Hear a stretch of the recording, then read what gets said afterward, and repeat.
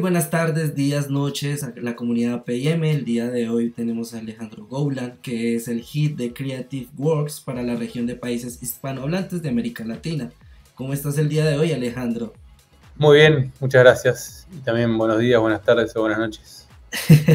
sí, como esto es tecnología digital, entonces en cualquier momento del día rompemos ese tiempo para poder estar con, eh, con la comunidad PIM.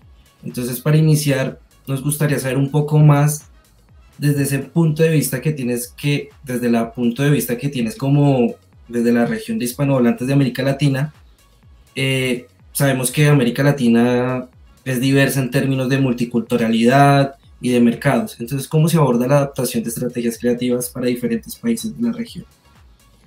Mira, nosotros tenemos la particularidad de ser un equipo que trabaja para distintos países, pero cada uno de esos países tiene un equipo que trabaja que es nuestro equipo más de ventas, si querés, que trabaja puntualmente con, en cada uno de esos países. Entonces, no hace falta nosotros trazar una estrategia eh, multi, si querés, multipaís, más allá de cómo nos dividimos nuestro año.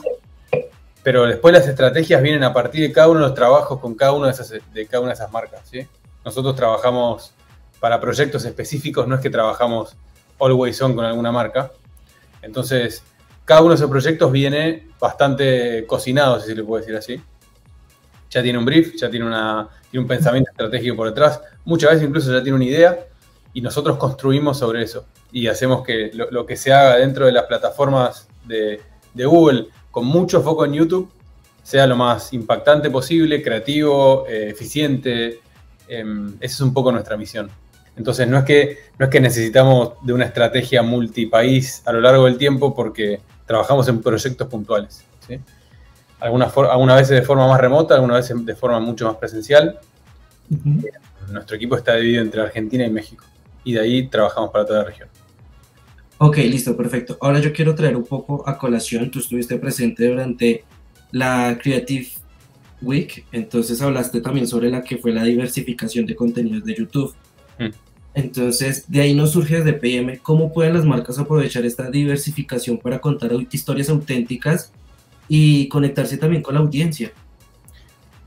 Mira, y creo que lo vamos a hablar bastante a través de, seguramente a través de esta, charla, pero yo creo que por más diversificación que haya, que sí la hay, hay mucho en cuanto a formatos y en cuanto a cantidad de contenido y en cuanto a cómo los usuarios se acercan a ese contenido. Em, hay un estudio interesante dentro de, YouTube que lo que busca es entender la diversidad de contenidos que nosotros como usuarios accedemos y el promedio de verticales de contenido a la que accedemos todos es 15 verticales de contenido, ¿sí? En promedio.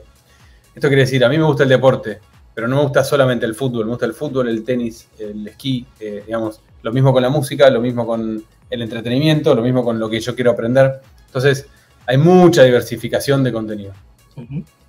Lo que creo que hay que encontrar es qué quiere decir cada una de estas marcas dentro de la plataforma, qué mensaje quiere dar y poner toda la energía, toda la cabeza y el corazón e incluso también las entrañas, como decir, la, parte de la intuición, para contar una historia que sea relevante, que impacte en una audiencia y que le sume y que sea relevante para esa audiencia también. ¿sí?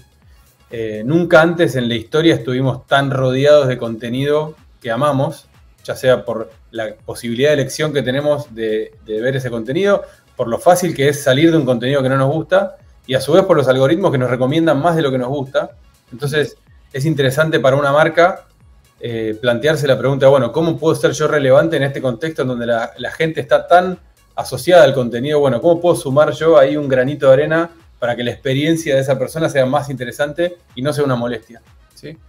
Eh, entonces creo que hay que poner toda la, intención que tenemos para encontrar esa idea, ese punto de contacto y sobre eso después construir. Perfecto. También hablaste en, ese mismo, en, esta misma en esa misma semana sobre la evolución de contenidos audiovisuales para YouTube. ¿De mm. qué manera ha impactado en las estrategias de publicidad en esta plataforma? Evolucionó, cuando hablas de evolucionar, habló, eh, digamos, desde lo primero fue YouTube hasta lo último que es el contenido vertical. ¿Te referís a eso, me imagino? Sí, correcto sobre eso em, es complejo, pero es bien interesante también porque YouTube en sí es una plataforma eh, que no solamente tiene una variedad de formatos enormes, desde Connected TV hasta YouTube Shorts, como hablábamos recién, sino que además tiene, tiene distintas intenciones de consumo de contenido. una cosa es estar eh, en la parada del colectivo, scrolleando en vertical, haciendo que mi cerebro se distraiga y que pase el tiempo rápido. Otra cosa es estar en la sala de tu casa, sentado, tomando, acostado incluso, tomando un vino y mirando un contenido, un documental largo de una hora y media. Y otra cosa es estar en tu computadora tratando de aprender sobre algún tema. ¿sí? Esa es la, complejidad de formatos que tiene YouTube y la complejidad de intenciones de consumo de video que hay en YouTube. Lo que tiene que entender bien una marca es a quién le quiere hablar, en qué momento le quiere hablar, cuál es el perfil de esa audiencia y cuál es el mensaje que quiere dar. Después, llegar a esos momentos no es complejo. Em, entonces creo que hay que entender bien esa parte más estratégica para después ejecutar. Pero de vuelta, todo va a terminar en este nudo que es la gran idea ¿sí? que, que tenemos que usar para conectar con esa gente. Ok, listo, perfecto. También nombraste lo de YouTube Shorts y acá tenemos una pregunta desde PM y ¿cuáles son esos aspectos que crees que son cruciales para que los anuncios sean más efectivos eh, en, este, en este formato vertical y cómo los anunciantes pueden aprovechar al máximo? Hay, varios factores que, por supuesto que la, fórmula del éxito no la tenemos. ¿sí? Eh, ojalá la tuviéramos y la estaríamos repartiendo para todos lados, pero no la tenemos. Sí sabemos factores que hacen que eh, tengan mejor posibilidad de, eficiencia, ¿no? Entonces, yo creo que de vuelta, primero hay que identificar bien a la audiencia a la que querés hablar. Siempre hablando de, te voy hablando de anuncios, ¿no? Identificar bien a la audiencia a la que le querés hablar, eso es clave. Después ya el mensaje, obviamente ya lo hablamos antes, es clave. Y después sí hay que entender las nuevas formas de, si querés, de, estilos narrativos, ¿sí? O de arcos narrativos que tienen las piezas hoy. Más allá de entender que una forma es producir para horizontal o para landscape y otra cosa es para producir para vertical, ¿sí? un tema de disposición de elementos casi eh, obvia. Pero también lo que podemos entender es pensar lo fácil que es swipear un contenido, ¿sí? que no te divierte. Ni siquiera tenés que esperar hasta que venga el botón de skip, lo swipeás.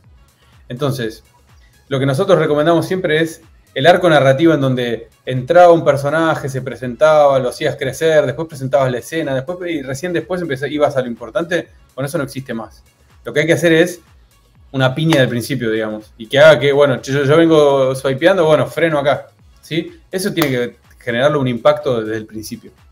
Y después, lo que nosotros llamamos lo que son las ventanas de atención, que es todo el tiempo tener que estar abriendo una ventana nueva de atención, porque cuando la, sobre todo en contenido vertical, cuando la tensión baja, chau, se fue. ¿sí? Entonces, hay que estar atentos a esas nuevas arcos narrativos. ¿sí?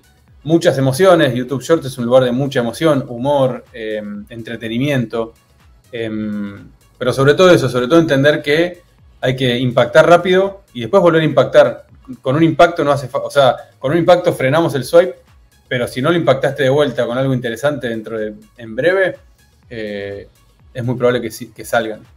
No sé si viste, hay, ni siquiera es una tendencia, es una forma de narración que tienen los creadores que te cuentan el final al principio, ¿sí? Eh, entonces te dicen, te voy a mostrar cuando me picó el, alacrán más venenoso del mundo. Mete la mano en una caja, lo pica el alacrán, grita y después empieza la, narración y te cuentan todo el contenido. ¿sí? Eso es ese, impacto del principio. No, pero me parece que si vos lográs un. Si, si conoces bien tu audiencia y generás un mensaje interesante y les hablas en el idioma y en el tono en el que están usando esa plataforma, me parece que hay un combo interesante y eso va a hacer que ese contenido sea disfrutable. Em, hay un contenido disfrutable en cine y otro contenido disfrutable en YouTube Shorts. ¿sí? Digamos, son cosas totalmente distintas, con arcos narrativos distintos y así todo se puede disfrutar cualquiera de los dos. Listo. Eh, ahora también queremos tocar un tema que es muy importante y es la sostenibilidad y la responsabilidad, tanto lo que es corporativamente hablando. Mm. Entonces, ¿cómo pueden las empresas incorporar de, esta, de una manera más efectiva estos valores de estrategias publicitarias para que no parezcan tan aislados? Porque a veces vemos que no van con esa filosofía a veces. ¿De qué manera? Mira, esto es una opinión personal y excede un poco mi, mi, mi trabajo sobre el contenido de video, pero yo creo que para que se sienta real, una marca, y esto es una obviedad casi, pero una marca tiene que hacer algo y después contar ¿sí? Entonces, yo creo que se empieza a sentir natural cuando una marca realmente está comprometida con eso que hablaba de la sustentabilidad, por ejemplo. Em, Entonces, una vez que una marca está comprometida con eso, después es creíble. Si lo hace como, un, como una lavada de cara, no va a funcionar. Eh, digamos, la gente es inteligente y la gente entiende rápido cuando una marca quiere lavar algo, cuando quiere contar algo que no hace, versus cuando realmente lo hace y después cuenta algo, una historia interesante alrededor de eso. Em, el ejemplo más claro y que es extremadamente, si querés, eh, alineado desde lo que dice hasta lo que hace y hasta cómo se mueve es Patagonia. A mí es una marca que me vuelve loco, que es una novedad de vuelta, eh, no, estoy descubriendo nada, pero no deja de sorprenderme cada cosa que hace. Eh, es esa marca y eso, digamos, genera contenido muy interesante. Si entras al canal de YouTube de Patagonia, tiene documentales, hay un montón de, digamos, de, de contenido increíble y que se siente bien real, digamos, es algo que ellos realmente creen, que lo hacen, pero que primero ellos ejecutan su forma de negocio de esa forma. Entonces creo que hay que lograr esa, esa, eh, esa coherencia desde lo que se empieza haciendo hasta después del mensaje. Ok, listo. Y ya para ir finalizando, ¿cuáles han sido esas tendencias que han perdurado durante este 2023 y que están impactando en la, industria? ¿Tendencias eh, de contenido? De contenido. Mira, hay, eh, es una lista muy, muy, muy larga. Nosotros lo que vemos son algunas tendencias que son un poco más efímeras y hay algunas tendencias que empiezan, eh, empiezan siendo tendencias y después se transforman en verticales. Te voy a dar un ejemplo, y esto es eh, solo un ejemplo. ASMR, la tendencia de los, de los ruidos y de la, forma de relajarse a partir de, ruidos, era una tendencia en un momento, empezó a crecer y hoy es una forma de, comunicación.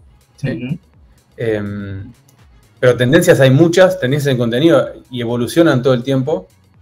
Em, pero vuelta, yo creo que, hay que volver a, lo que hablábamos al principio, que es decir, más allá de la tendencia, yo me puedo subir alguna tendencia con un, para, como una forma de dialogar, en un diálogo un poco más abierto, pero creo que la idea que yo quiero contar es la base a partir de la cual después nosotros empezamos a comunicar.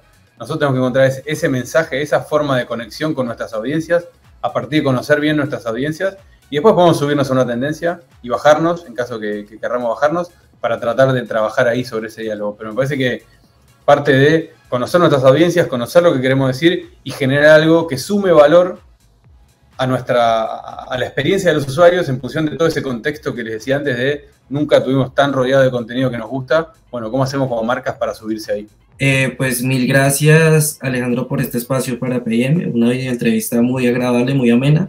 Bueno, eh, muchas gracias por la entrevista, fue muy interesante.